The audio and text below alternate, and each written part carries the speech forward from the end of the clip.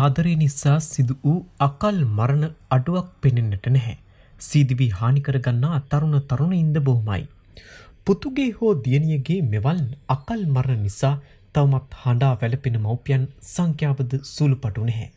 දහදුක් විඳ ඇති දැඩි කොට සිප් සතර කියාදී කරදඬු උස්මහත් වූ පසු රටේ හොඳ පුරවැසියෙකු කිරීමට පෙරම් පුරන මව්වරුන් අකාලයේ විය වූ මෙවන් දරුවන් ගැන සිතමින් හෙළන කඳුළු තවමත් වියලී ගොස් නැහැ. පසුගියදා කළුතර දකුණ පොලිස් වසමෙන්ද මෙවන් සිදුවීමක් වාර්තා වුණා. ඒ ඇස් දෙකමින් බලා කියාගත් තම තරුණ පුතු අකාලයේ වියෝවීමයි. පුතුගේ වියෝවීම ඒ මව්පියන්ට තවමත් දරාගත නොහැකි. ඔවුන් පවසන්නේ තම පුතුගේ මරණය සීදිවි නස්සා ගැනීමක් නොවන බවටයි. ඔවුන් පසුගිය සතිය තුළම පොලිස් ඒකකයට යමින් එමින් පවසනුවේ තම පුතුගේ මරණය සැක සහිත බැවින් ඊට වගකිව යුත්තන්ට දනුවම් දී තම පුතුට සාධාරණය ඉටු කර දෙන ලෙසටයි. මහිම කෞෂික මෙලොව හැරගියේ වයසවුරුදු දහටේදී. තම ඇස් දෙකමින් රැකබලාගත් තම පුතු කළුගඟට පැන සීදිවි හානිකර ගැනීම මහිමගේ මවට දරාගතනු හැකි වුණා. මගේ පුතාට එහෙම කරගන්න ඕනෙ නැහැ. ඇය පොලිසිය හමුවේ කියා සිටියා. මහිමට මෙලෙස දිවිතොර කර ගැනීමට කිසිදු හේතුවක් නැති බවත් තම පුතුට පහරදී ඇති බවත් කියමින් මහිමගේ මවත් පියත් පොලිසියෙන් තවමත් ඉල්ලා සිටින්නේ පුතුගේ මරණය ගැන සැකයක් ඇති බවයි. මාත්‍යව් පොලිසියෙන් කිව්වා ඇසින් දුටු සාක්ෂයක් නැහැ කියලා. සිකුරාද උදේ අපි එහෙම සාක්ෂිකුත් ගෙනහින් දුන්නා. මහිමගේ පියා පවසනවා. ඔහු පවසන්නේ සිද්ධියක් ඇසින් දුටු බව කියන කාන්තාවක් කළුතර අපරාධ කොට්ටාශය වෙත ඉදිරිපත් කෙරුණු බවයි.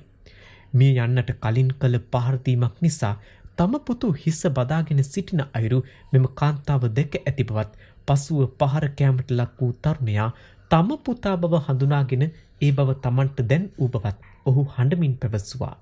ඒ විතරක් නොවේ අපිට රෙකෝඩ් කරපු සාක්ෂියකුත් තිබෙනවා. ඔහු මෙසේ පවසන්නේ තම පුතුගේ මරණයට පොලිසින් සාධාරණයක් ඉටු කරවා ගැනීම සඳහායි. නමුත් තවමත් මහිමගේ මරණය සම්බන්ධයෙන් කෙරෙන කටයුතු පවතින්නේ විමර්ශන මට්ටමේ. මහේෂ් රවීන්ද්‍ර රාජකරුණා සහ නිල්මිනි සමරසේකර මහිමගේ මව්පියන් මහිම පවුලේ තෙවැන්නයි. ඔහුට අක්කලා දෙදෙනෙක්. මහේෂ්ගේ ලොක්කුදුව කළුතර ප්‍රාදේශවී ලේකම් කාර්යාලයේ සේවය කරනවා.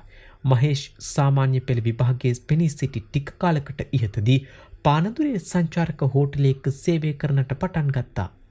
මහේෂ්ගේ බාලපුතා තවමත් අධ්‍යාපනය හතාරමින් සිටිනවා. තරුණ වියට එළඹුණු සෙස්සු තරුණයන් මෙන් මහීමගේ ආදරයද එක්තරා තරුණයක් වෙත ඇදී එකස් තිබුණා. ඒ ගෙදර අයටද හොරායි. ඇයද සිය මව්පියන් සහ සොහවිරියත් සමග ජීවත් වූයේ කළුතර දකුණ පොලිස් වසමේ ගල්ලස්සේන ප්‍රදේශයේ. මහිමගේ මව්පියන් නොදැන සිටියද ඔහුගේ සිත හොරාගත් ඇය සහ ඔහු අතර SMS කෙටි පණිවිඩ හූමාරු වී තිබෙනවා. ඒ වැඩි කාලයක නොව මෑතකදී. කෙසේ හෝ මේ සම්බන්ධතාවය මහිමගේ මව්පියන් දැනගත්තේ පෙම්වතියගේ පියා කළ තර්ජනයක් නිසා බව කියනවා. ඒ පෙම්වතිය මහීමට දුන් පෙම් හස්සුනක් නිසායි. එම පෙම් හස්සුන නැවත ඉල්ලමින් පෙම්වතියගේ පියා මහිමට තර්ජනය කර ඇති බවද ඔහු කියනවා. වරෙක එම තර්ජනය සිදු කර ඇත්තේ මහිමගේ ඥාති සොහොයුරෙකු වූ ඉදිරියේයි. එම සොහොයුරා එම තර්ජනය ජංගම දුරකථනයේ පටිගත කර ඇතැයිද කියනවා. පටිගත කර තිබූ එම තර්ජනයට මහිම සිය ඥාති සොහුරා සහ තවත් මිතරකු සමග සවන් දෙද්දී ඒ ගැන සැක කළ මහිමගේ ඥාතියකු ඒ පිළිබඳ විමසද්දී මහිමගේ ආදර සම්බන්ධතාවය හෙළිවී තිබෙනවා. නමුත් මහිම සිය මවට පවසා ඇත්තේ එවන් සම්බන්ධකමක් නොමැති බවටයි. එහෙම දෙයක් තියෙනවනම් ඒක දැන්ම නවත්තන්න පොතේ. මහිමගේ මව එසේ පවසා ඇතැයිද කියනවා. ඊට මහිමද එකඟත්වය පල කර තිබෙනවා. කෙසේ වෙතත් පසුගිය හත්වැනිදා සවස මහිම නිවසේ සිට ඇත්තේ ආහාර ගනිමින්. ඒ මොහොතේ මහිමගේ ජංගම් දුරකථනයට කෙටි පණිවිඩයක් ලැබෙනවා. ඒ හැකි ඉක්මනින් ඇය හමුවීමට පැමිණෙන ලෙස කෙටි පණිවිඩිය දක්වමින්. ඒ අනුව ඔහු ඇය සොයා ගොස් ඇති බව මහිමගේ පාර්ශවය පවස්සනවා. එහෙත් එම පණිවිඩිය අනුව ගිය මහිමට හමුවී ඇත්තේ පෙම්වතිය නොව ඇගේ මෞපියන් බවද කියවෙනවා. ඔවුන් යතුරු පැදියකින් පැමිණ මහිමට බැනවැද ඇති බවත් එම අවස්ථාවේ පෙම්වතියගේ පියා මහිමට පහරදී ඇති බවත් මහිමගේ පාර්ශවය චෝදනා කරනවා. ඇසින් දුටු සාක්ෂිකාරිය එතැන් ගමන් කර ඇත්තේ ඒ අවස්ථාවේදී බවද කියනවා. කිසියම් පුද්ගලෙකු බැනවදින හඬත් තරුණෙකු හිස්ස අත් දෙක අල්ලාගෙන සිටින අයුරුත් ඇයිදුටු බවත් පසුව එම තරුණයා මහේෂ්ගේ සහ නිලිමිනේගේ පුතු බව ඇය හඳුනාගෙන ඇති බවත් පවසනවා. අවසානයේ මේ බව මහිමගේ මව්පියන් දැනගැනීමෙන් පසු ඔවුන් එම කාන්තාවද රැගෙන කළුතර කොට්ටාශ අපරාධ විමර්ශණ අංශිට ගොස් එහි ස්ථානාධීපතිවරයාට ඇය ඉදිරිපත් කර ඇතැයිද වාර්තා වනවා. මහිම සියදිවි හානිකරගෙන ඇත්තේ ඉන් අනතුරු බවද පවසනවා. ඒ එදිනම රාත්‍රී හතට පමණයි. මහිම කළුවන්ගේ පාලම මත එක කකුලක් ගඟ පැත්තට දමාගෙන සිට අයුරු ඒ අසලින් ගමන්ගත් ත්‍රීරෝධ රථ රියදුරුකු දැක තිබෙනවා. ඔහුටද මහිම සිටින විලාශය ගැන සැකයක් ඇතිවී ඔහු අල්ලා ගැනීමට උත්සාහ කළද මහිම ඒ සැනින් කළුගඟට පැන ඇති බවද වාර්තා වනවා. මහිමගේ මව්පියන්ගේ පාර්ශවයේ තවත් සැකයක් වී ඇත්තේ මහීමට අමානුෂික ලෙස පහරදී ගඟට දැමුවාද යන සැකයයි.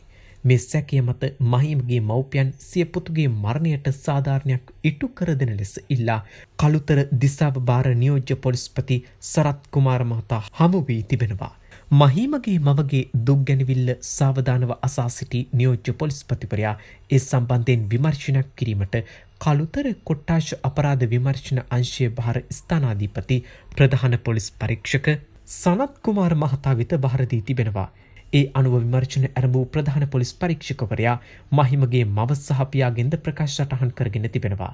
මහිම කළුඟකට පැනීමට ආ මොහොතේ ඒ අවට පරිසරයේ දැඩි අඳුරු ස්වභාවයක් ගෙන තිබුණා. ඒ වන විට වෙලාව රාත්‍රී හතට පමණ ඇති බවද කියවෙනවා. සමහර ප්‍රදේශවල විදුලියද විසන්ධි වී තිබෙනවා. කළුගඟ පාලම අස්සලට පැමිණි මහිම සිරිප්පු දෙක ගලවා සේ ජංගම් දුරකථනයද අතතිව පාලම මතට නැක පසුව දුරකතනෙන් මුදල් පසුම්බියත් පාලම මත තබා කළුගඟට පැන තිබෙනවා. කෙසේ වෙතත් කිසිවකු ගඟට පණෙන අයුරු දුටු ඒ අසලින් ගමන්ගත් අයකු ඒ අසල රාජකාරිය යෙදනු පොලිස් නිලධාරියකුට මෙබව දන්වා තිබෙනවා.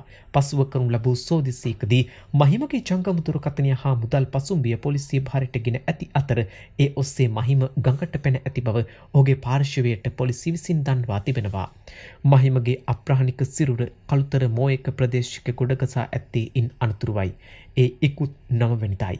අදාළ පරීක්ෂණයේදී තම පුතුගේ මරණය සැක සහිත බව ඔහුගේ මව්පියන් පවස්සා ඇතැයිද වාර්තාවනවා. කෙසේ වෙතත් මහිම කෙසේ මිය ගියේ දෙයයි දැනගැනීම සඳහා සිදුකුණ ලද පශ්චාත් මරණ පරීක්ෂණය කළුතර නාගොඩ මහරෝහලේදී පැවැත්වුණා.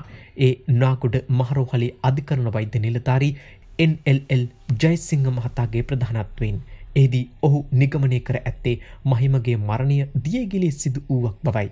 එහෙත් හිසේ තුවාල දක්නට ඇති නමුත් එය මරණයට හේතුවක් නොවන බවද අධිකරණ වෛද්‍යවරයා දන්වා තිබෙනවා.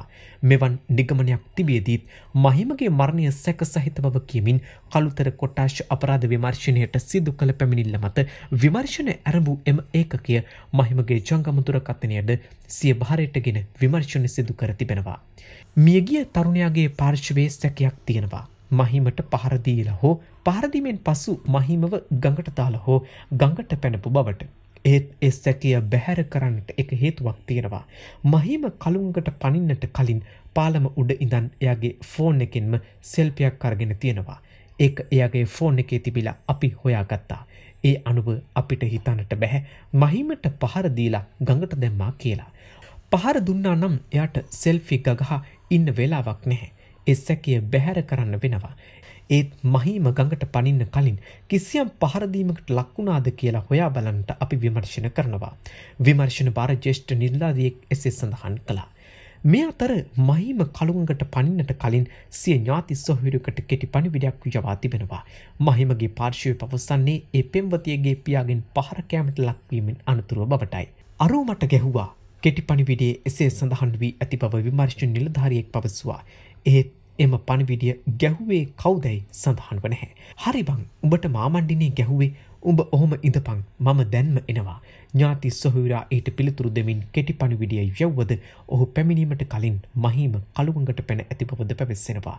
මහිමගේ පියා රියදුරු රැකියාවක් කරන අතර මවද කොළඹ ප්‍රදේශය රැකියාවක නිර්ත වී සිටින බවද වාර්තා වනවා. කලක් ත්‍රීරෝධරත් රැකියාවයි නිර්ත වූ මහිමගේ පියා මහේෂ් මේ වන විට ලොරියක රීදුරුකු ලෙස රැකියාව කරනවා. පසුගේ හත්වනිදා වැඩකටයුතු නිමවී සිය සොහුරාගේ නිවසට පැමිණ ලොරිය මාර්ගයේ නතරකොට ප්‍රවෘත්ති බැලීම සඳහා ඔහුගේ ගෙට ගොඩ වී සිටියේදී දියණියක් දුන් විලාපයකට අනුව මහිමගේ වියෝව දැන සිටිනවා. මමයි බිරිඳයි හරියට දුක් මහන්සින් දරුවෝ හතර දෙනා හදාගත්තේ. මහිම පුතාත් ඒ වගේමයි. එයාට උනුදේ අපට හිතාගන්නටවත් බැහැ. අපේ පුතාගේ මරණය සැක බවට අපි පොලිසියට කිව්වා. සාක්ෂි ඉල්ලුවම සාක්ෂිත් හොයල දුන්නා. ඒත් මෙතෙක් කවුරුත් අත්තඩංගොට අරන්න හැ. අපි කියන්නේ අපේ පුතාගේ මරණයට සාධාරණයක් ඉෂ්ට කරලා දෙන්නයි. මහිමගේ පියා එසේ කීවා. කෙසේ වෙතත් කළුතර කොට්ටාශ අපරාධ විමර්ශන අංශයේ බහර ස්ථානාධිපති ප්‍රධාන පොලිස් පරීක්ෂක සනත් කුමාර මහතා පැවසුවේ සිද්ධිය සම්බන්ධයෙන් මියගිය තරුණයාගේ පාර්ශවෙන් ප්‍රකාශ සටහන් කර ගැනීමක් සිදු කර ඇති බවයි. මෙම ප්‍රකාශවල ඇත්ත නැත්ත සොයා ගැනීම සඳහා සහ විමර්ශන කිරීම සඳහා මහිම සමග සම්බන්ධකම් පැවැත්තු බව කියන පෙම්වතියගේ පාර්ශවයෙන්ද ප්‍රශ්න කරන බවද ඔහු පවසවා. කෙසේ වෙතත් ලැබුණු තොරතුරුවලට අනුව මහිමගේ අකල් මරණයෙන් පසු ඔහුගේ පෙම්වතිය බව කියන තරුණිය හා ඇගේ මෞපිය පාර්ශවය සිය නිවෙස් වසා දමා ගොස් තිබෙනවා. ඒ නිසා විමර්ශනවලට ගෙන දුන්නේ කිසියම් පාතාවක් මහිමගේ මරණ වාර්තාවේ තියෙන්නේ මහිමගේ මරණය දිය ගිලීමෙන් සිදු වුවක් බවටයි. ඒත් එයාගේ මව්පියන් කියනවා මහිමගේ මරණය සැක බව. ඒ නිසා අපි විමර්ශන සිදු කරනවා. මහිම ගඟට පැන දිවිතොර කරගත්තේද මහිම ගඟට තල්ලු කර දැමුවේද ඊට කලින් ඔහුට පහරදීමක් සිදු කර ඇද්ද. මෙවන් සැකසංකා සහිත මහිමගේ මරණයට නිශ්චිත හේතුවක් ලැබෙනුවේ එම විමර්ශණයෙන් පසුවයි. ඇසින් දුටු සාක්ෂි පර්යේෂණ සාක්ෂි මෙන්ම විද්‍යාත්මක සහ තාක්ෂණික සාක්ෂිද මෙම විමර්ශනය සඳහා උපයෝගී කරගන්නා බව විමර්ශනය පවත්වන උසස් නිලධාරියෙක් ප්‍රකාශ කර සිටියා. අසම්බත ප්‍රේම සම්බන්ධතාවයක් නිසා අවසානයේ මහීමට සිය ජීවිතයෙන් යන්නට සිද්ධ වුණා. මහීමට අත් වුණු මේ අවස්සනාවන්ත ඉරණම සම්බන්ධව ඔබදරන මතය පහතින් කමෙන්ට් කරන්න මේ වීඩියෝවෙන් ජම් තොරතුරක් තැනකත්තා නම් වීඩියෝවට ලයි කරන්න.